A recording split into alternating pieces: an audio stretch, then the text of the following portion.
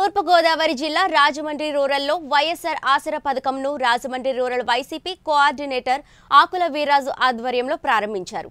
ఈ కార్యక్రమంలో ఆకుల బాపిరాజు వైఎస్ఆర్సీపీ నాయకులు కార్యకర్తలు డ్వాక్రా మహిళలు పాల్గొన్నారు.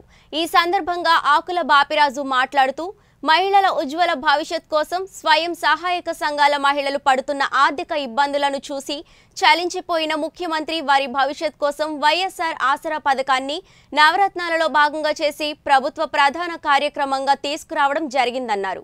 ఈ పథకం వల్ల మహిళా సాధికారత మరింత మెరుగై గ్రామీణ పట్టణ ప్రాంతాలలో స్వయం సహాయక సంఘాలకు చెందిన పేద మహిళలు ఆర్థికంగా పురోగతి చెందుతారన్నారు.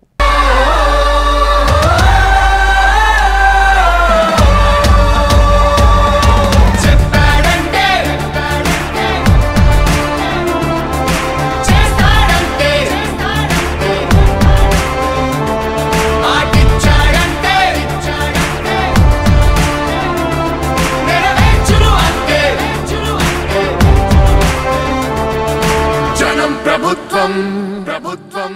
ప్రభుత్వం జగనన్న ప్రభుత్వం. ప్రభుత్వం. ప్రభుత్వం ప్రజా ప్రభుత్వం. ప్రభుత్వం. ప్రభుత్వం.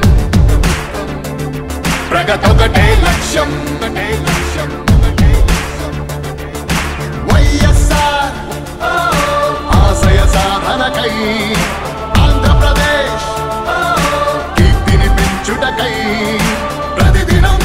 శ్రమిస్తున్నది మన ప్రభుత్వం. ప్రభుత్వం. జనం కోరి గెలిపించుకున్న మన జగన్ నాయకత్వం. జనం ప్రభుత్వం. ప్రభుత్వం. ప్రభుత్వం. జగనన్న ప్రభుత్వం. ప్రభుత్వం. ప్రభుత్వం. ప్రజా ప్రభుత్వం. ప్రభుత్వం.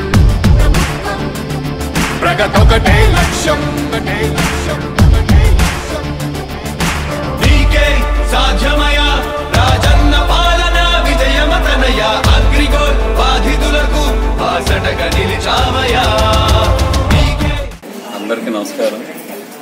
ఈరోజు రాజమండ్రి రోడ్ కడియం మండలం వీరవరం గ్రామంలో గత రెండు రోజుల క్రితం మరి వైఎస్ఆర్ ఆసరా మరి డ్వాక్రా మహిళలందరికీ మొదటి విడత మన ప్రియతమ నాయకులు జగన్మోహన్ రెడ్డి గారు విడుదల చేయడం జరిగింది.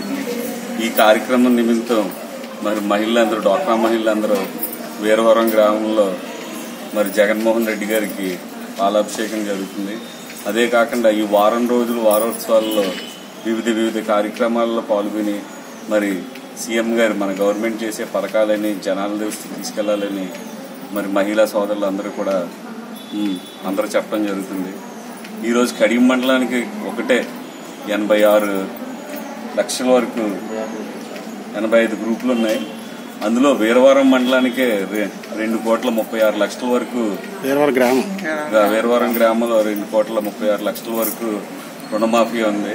మొదటి విడతగా అరవై లక్షల రుణమాఫీ ఆల్రెడీ మహిళలకు అందరికీ పడడం జరిగింది మన రెండు రోజుల క్రితం. దానికి జగన్మోహన్ రెడ్డి గారిని మెచ్చుకుంటూ మరి ఈ కార్యక్రమం నేను పిలిచినందుకు చాలా ధన్యవాదాలు. Thank you